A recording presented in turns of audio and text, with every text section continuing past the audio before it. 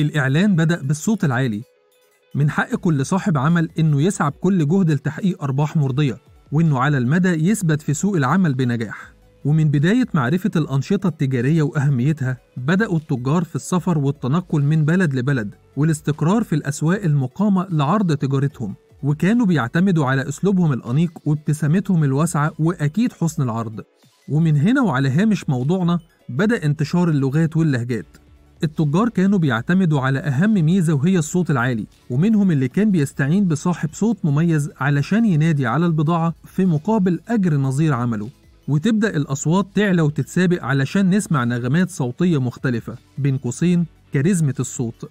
وكمان مش هيفوتنا نشاور على خطب زعماء وقادة الحضارات السابقة في المناسبات المختلفة لشحن همم شعوبهم أو لتحفيز الجيوش. وكمان خطب المثقفين زي الشعراء يعني الخطابة ليها عمقها في التاريخ.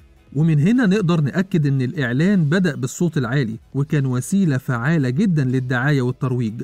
والإعلان بصوره الحالية هو تطور للصوت العالي في عهده السابق واللي يأكد الكلام هتلاقي في دراسات الجدوى لأي مشروع بند خاص للإعلان واللي يشمل طبعا التعليق الصوتي المعروف بفويس أوفر ومع التطور الملحوظ أصبح كل صاحب عمل بضغطة زر يقدر يروج لنشاطه بكل سهولة. ده غير إنه يقدر يحدد قيمة الإعلان والفئة المستهدفة وأعمارهم ونطاقهم الجغرافي وكمان اهتماماتهم.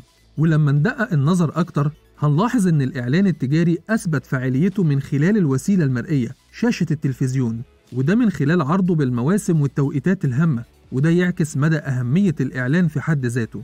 بالإضافة لإعلانات الطرق والإعلانات المبوبة المتعارف عليها من زمان في الجرايد والمجلات واللي أصبحت إعلانات مبوبة بالمواقع الإلكترونية. العصر الرقمي في الوقت الحالي كأنه آلة زمن نقدر من خلالها نمر العوالم أصبحت واضحة وضوح الشمس. علشان كده هيفضل الإعلان بتطوراته المستمرة المقبولة وبكافة أنماطه أداة فعالة بتوصل للعملاء أيا كان مكانهم والإعلان هيفضل شغف لكل مستثمر أيا كانت حجم أعماله.